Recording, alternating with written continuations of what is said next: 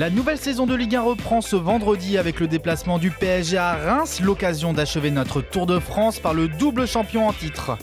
À Paris, aucun grand départ n'a été enregistré cet été. Christophe Jallet a affilé à l'OL pour moins d'un million d'euros. En fin de contrat, Alex et Jérémy Minez ont rejoint le Milan AC. Le jeune espoir Kingsley Coman, qui a refusé de s'engager avec son club formateur, a filé gratuitement à la Juventus de Turin, championne d'Italie en titre. Après avoir joué à Lens la saison dernière, Alphonse Areola va continuer sa progression en étant une nouvelle fois prêté à Bastia, cette fois sous les ordres de Claude Makelele. Au rayon des arrivées, David Luiz a été recruté à Chelsea pour 45 millions d'euros. En provenance de Toulouse, Serge Aurier a lui rejoint la capitale sous forme d'un prêt payant. Jean-Christophe Baebec et Clément Chantôme reviennent eux au club après avoir été prêtés à Valenciennes et Toulouse.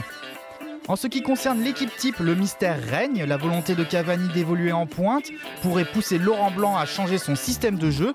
L'entraîneur parisien pourrait donc sacrifier le 4-3-3 qui lui a permis de faire le doublé l'année dernière pour passer en un 4-4-1-1 avec Cavani en pointe et Ibrahimovic en électron libre. Premiers éléments de réponse ce soir à Reims. Le joueur clé du champion de France en titre sera évidemment Zlatan Ibrahimovic. Meilleur buteur des deux dernières saisons de Ligue 1, le Suédois devrait encore empiler les buts.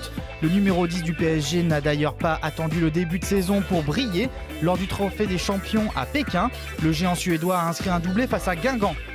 Pour son début de saison, le PSG commencera sur la pelouse du Stade de Reims, à noter la réception de l'AS Saint-Etienne lors de la quatrième journée, avant un déplacement à Rennes. La fin de saison du club de la capitale semble à la portée des hommes de Laurent Blanc, seule rencontre apparemment compliquée, la réception du LOSC à 5 journées de la fin. La rédaction RMC Sport voit le PSG finir champion de France une nouvelle fois et donc enchaîner un troisième titre d'affilée.